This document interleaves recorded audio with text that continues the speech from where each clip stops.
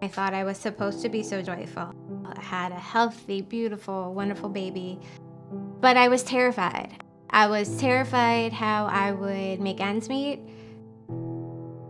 When I had her, I did struggle. There's a lot of expenses that we have to worry about. Being a single parent is hard. I wanted to work. I'm college educated, but I can't even get to the interview because I didn't have no one to watch my kids.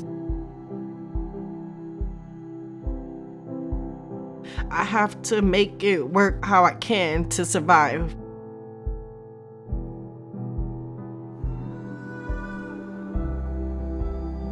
We knew childcare was expensive. When we found out how much it cost, yes, we were absolutely floored. The cost of food is going high, the rent is high, and if you don't have childcare, you can't get a job. This is not just your children and their health, but it's a huge part of their development. I don't want to compromise the care I get for my children. And no, we could not have done it if we did not have assistance. We could not have afforded it. When I'm on my route to work, if I know that both my oldest are in school and the youngest is in daycare, and I feel good because I know that my kids are safe and well taken care of.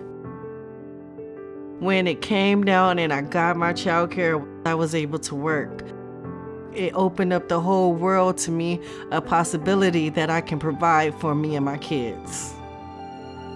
At childcare, she's constantly building her resilience and building her confidence.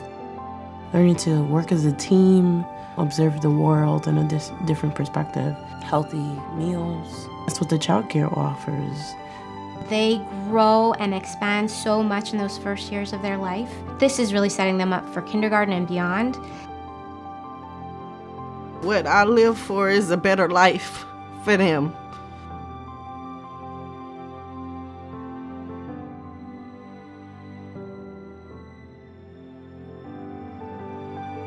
Childcare shouldn't be accessible just to people that have the resources.